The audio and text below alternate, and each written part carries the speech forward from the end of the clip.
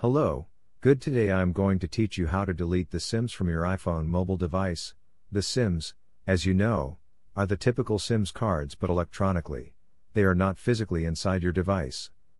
We will now go to the general configuration and within general we will go to the bottom of the bottom to the bottom we will go to reset and reset as for me nothing comes out because I do not have any SIM inside the mobile device but it will appear to you to reset the SIM of the mobile device. There is another option that now you I'll show you now you'll see that it's in the settings here too. My mobile device has been a little slow for a long time. A you go in the settings you go to mobile data and in mobile data as you can see I get add SIM if you don't have a SIM and you want adding one is added there and if you had a SIM apart from add SIM, you would have to delete the SIM.